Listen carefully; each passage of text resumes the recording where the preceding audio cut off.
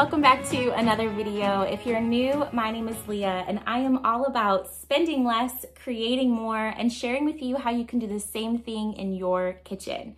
Today we are going to be heading out to the grocery store. We need to restock on some things. So I figured I would take you along with me on the meal planning process and then getting those groceries at the store. Weston is also going to be hanging out with me today. So I love to save money, but also I wanna save my sanity and take care of my health and my family's health. So if that is something that interests you, you are in the right place. You might wanna go ahead and hit the notification bell. Of course, like and subscribe if you wanna see more videos like this let's get started. The first thing that I like to do is make sure that I check my inventory before making my meal plan. I wanna see what items need to be used up and then also see what items that we normally use on a regular basis need to be replenished and then we go from there. So we still have greens, salad, some tomatoes, little baby carrots. So we'll definitely make sure I use that for some lunches. And these are some great convenient things that I like to keep on hand, kind of for an emergency. Sometimes it's actually part of the meal plan and I'll pick them up because I know I'm going to use them. And then other times I just have them in here in case of emergency. So a couple of microwavable chicken dishes. Um, Weston had requested roast beef, so I got that in there for an emergency. Um, lots of condiments, still have quite a bit of cheese, things that I've picked up on clearance or stocking up when it was on sale.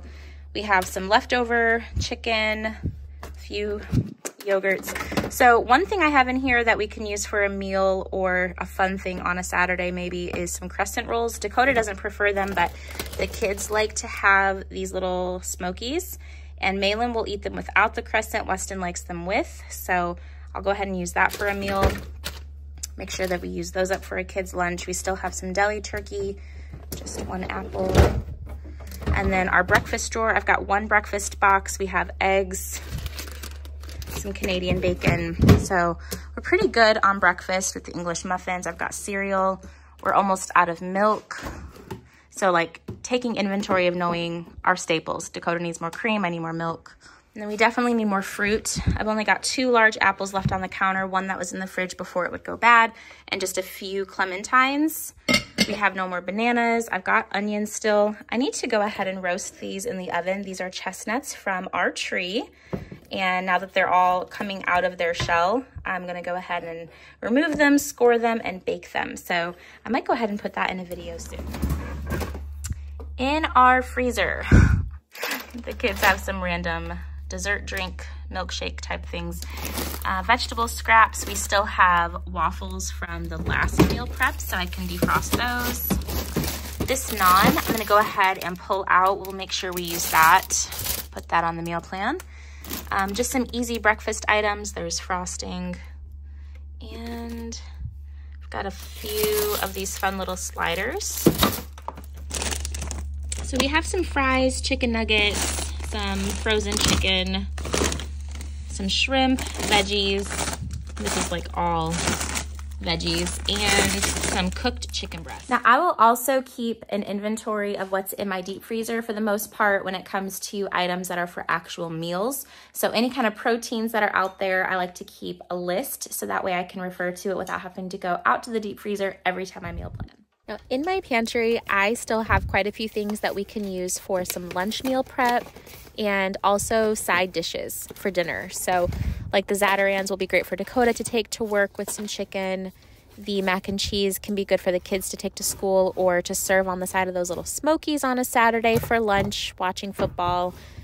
And there's not too many things in the canned goods section that I'm going to be using this week. Um, spaghetti, we've got protein pasta. We actually don't really like the Banza. Next, I will write out some of the things that I know I'm going to go ahead and incorporate into the meal plan, and then I will make my meals from that.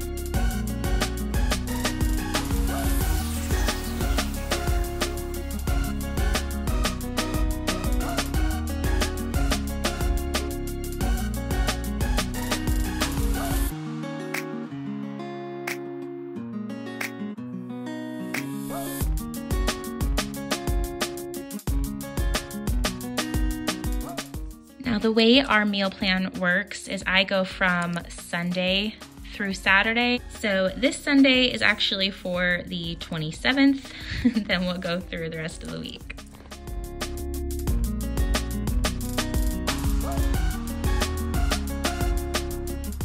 Also keep a running list throughout the week or throughout the month of things that we are running low on and everyone can add to it if they need to. This is what I add the rest of my grocery list to and I will take that to the store.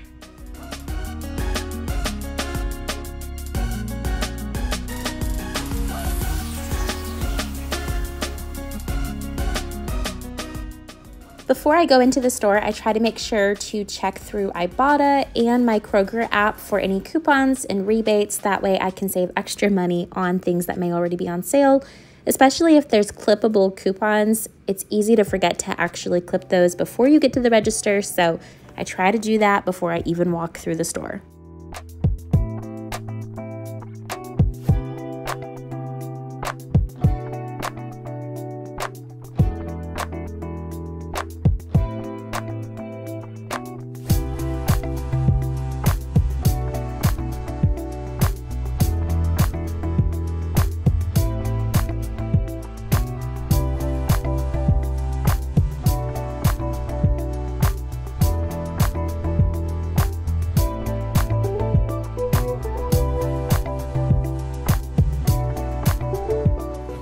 You want regular peanut butter or honey?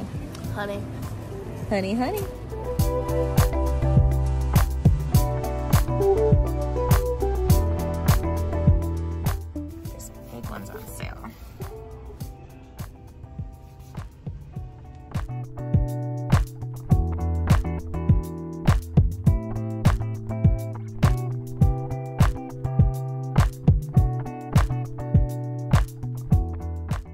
I love a good clearance deal as much or more than the next person, and I have whole hauls of clearance shopping trips. So I'll put those in the description box if you want to catch up on those. But I always have to keep in mind will my family actually use what I'm finding?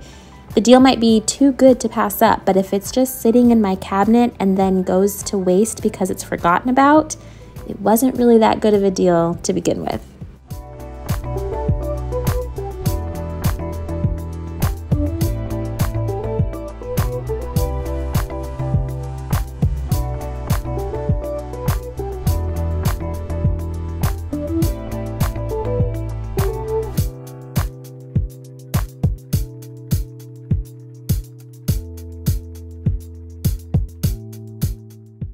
I'm not brand loyal to everything. Like toilet paper, I think great value works great. But paper towel, Dakota especially feels that we need to get Bounty. It definitely works better.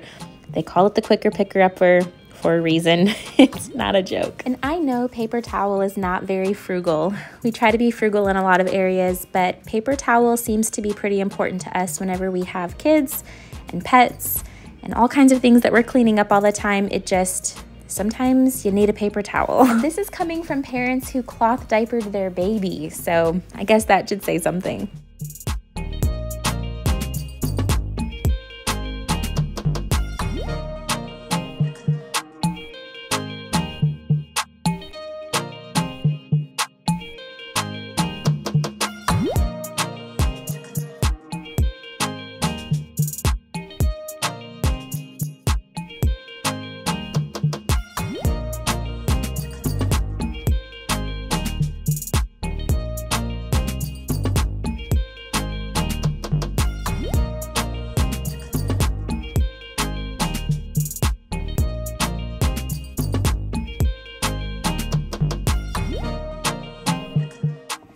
All right, got myself a new drink to try. We're gonna go get some lunch. We spent quite a bit of money, but we bought a lot of household products, which is not part of my grocery budget.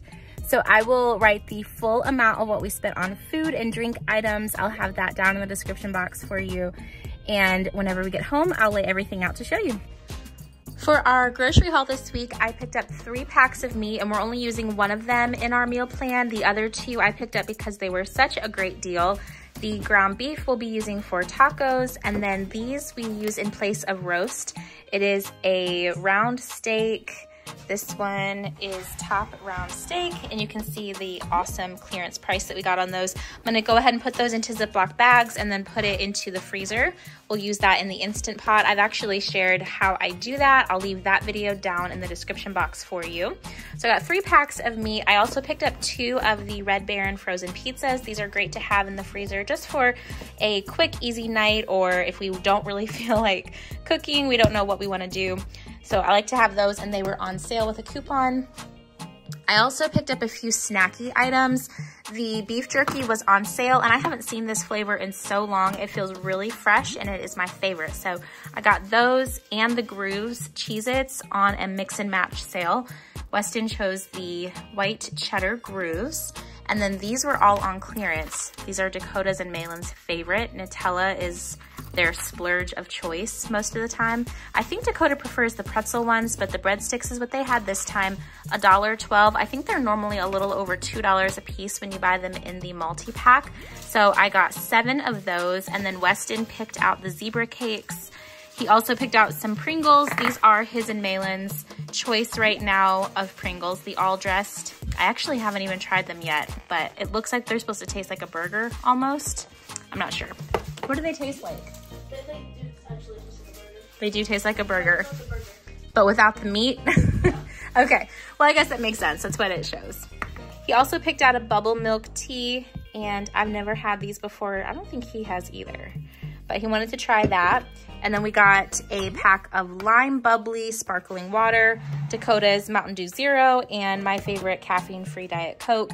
The bread was not on my list yet. We still have half a loaf, but this is our favorite kind, and it was buy one, get one free. So I got two of those. I also picked up carrots. I forgot to write down on my list, but we like to give these raw to Django, our dog. He's so sweet. Uh, but they're really great for chewing and he enjoys them as a snack and he doesn't have any digestion problems eating them. So we're great to use those as a chew snack. Got some bananas, cilantro, two packs of raspberries. These were also on sale with a coupon. The Honeycrisp apples have been really, really good at Walmart lately, so I got those and amazing price. Used to, they were the most expensive kind of apple, and now they're one of the cheapest. I don't know what causes that. The caramel sauce for coffees or ice cream, picked that up. We needed two more of our large seasonings. We were completely out of taco seasoning and our Montreal steak seasoning. So I'm trying the great value version. I haven't had it yet, but it looks really good. So got that. That is always a splurge, it feels like, because you have to buy so much um, at one time. So it's more expensive than just those little ones. It's definitely more cost effective to do that, but that alone was almost $20 in my grocery haul.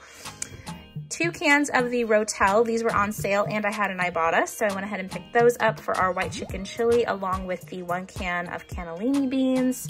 We were out of teriyaki and I am using that for our stir fry and we like to have this for some quick, easy Chinese bowls too. Weston picked out honey peanut butter for the week. Um, I say for the week. This is the really large jar, so that'll last us quite a while. And then I saw the apple cider was on sale. So for about $2 or less, I think it was, we got this. I'm gonna go ahead and heat that up and we're gonna have a really nice apple cider treat. Dakota's favorite pumpkin spice coffee cream. The Starbucks brand it's not a gimmick. It really is so much better than Coffee Mate or International Delight. So this one and the Chobani are my two choices. Um, and I only use it in my cold coffee, but he will heat it up and use it in his hot coffee. He brews some espresso and then he puts that in there. The Fairlife fat-free milk, got two of those. We use that every day. And then we were almost out of sour cream. I like to get the Daisy. Again, it's one of those ingredient type of things. This is just cultured cream as opposed to the Great Value brand has some other things in it that I'm just not comfortable with. So got that. Obviously we are not complete health nuts and only eat all natural. We still have a balance of things, but we don't want everything that we use on a regular basis to be full of junk. So the Chobani plain non-fat Greek yogurt is my alternative to sour cream whenever I'm trying to have less fat in a meal if I have more fat in something else. So that's how I make up the difference too. Um, and then I like to put just a little lid on that and I can rescoop as I need it, but I don't need nearly as much of this as the rest of the family needs or wants in regular sour cream. So I just get a small one for myself to use. And that is everything for this week's grocery haul. Of course, I did get other household items, but I wasn't gonna share that on here. So, and also price of Halloween candy. My goodness, that was expensive. I know this is just, I know this is a very large bag, but this was $25 and it wasn't even all the good stuff. I mean, it's good, but it's not like it was 290 Reese's. It's like a mix of things. Little Kit Kats, Twizzlers, Jolly Rancher lollies. So anyway, that was expensive. There's still a few other things that I'm gonna pick up later at the Mexican restaurant. We need some more salsa. This is the regular salsa and I wanna get the salsa picosa, which is their homemade hot sauce, and some queso from them. Thank you so much for watching. I cannot believe we are almost to 6,000 subscribers. And of course, that's all thanks to you supporting this channel. I pray that you have a wonderful day. And of course, until the next video, I will see you in those comments.